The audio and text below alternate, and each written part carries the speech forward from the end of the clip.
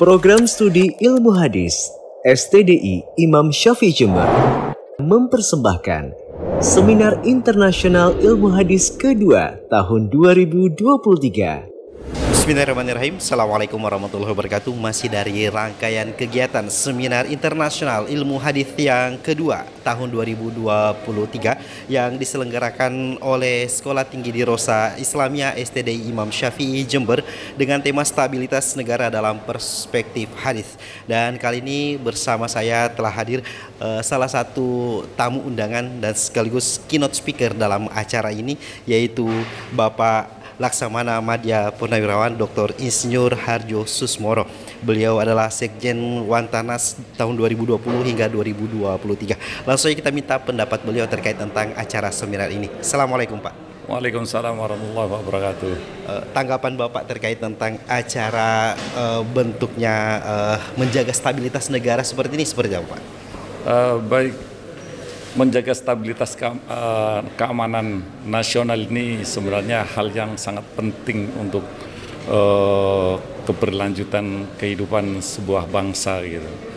Indonesia uh, negara yang sangat besar ini tidak akan mungkin bisa melaksanakan pembangunan nasional untuk bisa melindungi bangsa dan negara ini mencerdaskan kehidupan bangsa uh, apa namanya mesejahterakan bangsanya dan ikut serta dalam uh, perdamaian dunia kalau kita tidak bisa menjaga stabilitas keamanan nasional. Oleh karena itu, saya kira seminar internasional ini menjadi sangat penting. Mudah-mudahan ini menjadi kontribusi uh, bangsa Indonesia ini khususnya yang mayoritas beragama Islam bahwa uh, Indonesia ini adalah negara yang aman Kemudian Pak, eh, sejauh mana pentingnya memberikan kesadaran kepada masyarakat Indonesia pada umumnya Pak terkait tentang masalah stabilitas negara ini?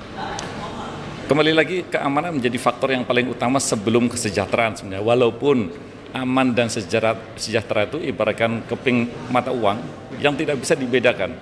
Tetapi aman menjadi lebih dahulu.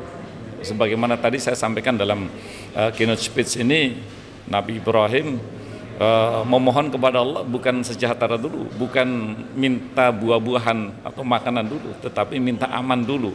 Yang dengan aman itu kita bisa berbuat apa saja.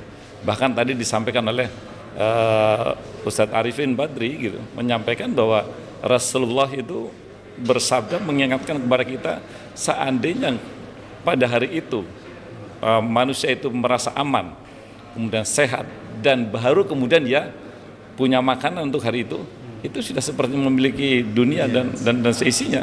Jadi kembali lagi bukan makan dulu baru aman. Aman dulu sehat baru kita bisa makan.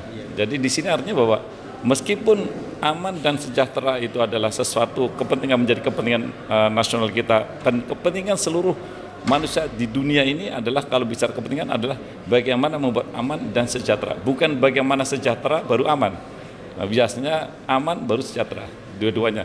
Kita aman tapi nggak sejahtera ya nggak enak gitu. Yeah. Ya, tetapi sejahtera tapi nggak aman nggak mungkin. Ya, tapi adalah aman sejahtera.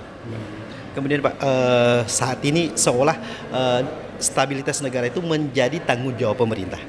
Uh, lantas peran masyarakat uh, secara umum yang bisa diambil untuk menjaga stabilitas negara ini seperti apa Pak? Undang-undang mengatakan bahwa setiap warga negara berhak dan wajib. Nah, berhak artinya kalau kita menilai warga uh, menilai bahwa situasi tidak aman, dia punya hak untuk an, ikut andil mengamankan. Wajib. Kalau seandainya dia tidak mau, negara bisa memaksa warga negara untuk berbuat mengamankan.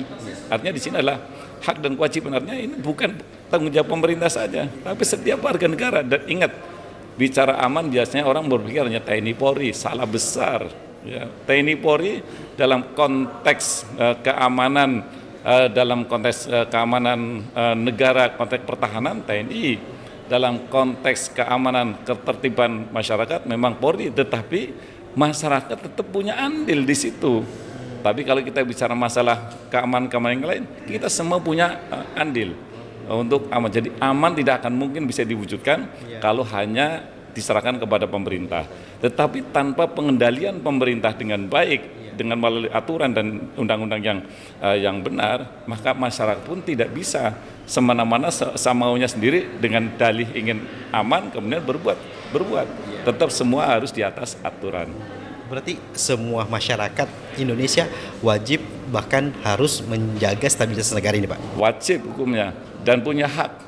Jadi hak dan wajib. Jadi tidak bisa kita tidak bisa menghindar dari sisi mana pun nggak bisa. Di saat kita mau, pemerintah harus memfasilitasi. Di saat kita tidak mau, pemerintah bisa memaksa gitu. ya. Terima kasih Pak atas uh, tanggapannya. Baik uh, pemirsa dan pendengar yang dirahmati Allah Subhanahu wa taala, demikian tanggapan dari salah satu keynote speaker kita terkait tentang acara seminar yang terselenggara hari ini dan semoga kita bisa mengambil faidah dari seluruh rangkaian acara seminar internasional ilmu hadis yang kedua yang diselenggarakan oleh STDI Imam Syafi'i Jember. Barakallahu fikum. Seminar ini insya Allah akan dilaksanakan pada hari Jumat sampai Sabtu tanggal 22 sampai 23 Syawal 1444 Hijriah bertempat di Hotel Davam Fortuna Jember. Penyiaran ini bekerja sama dengan RTVC dan disiarkan oleh lebih dari 40 media anggota. Acara ini didukung oleh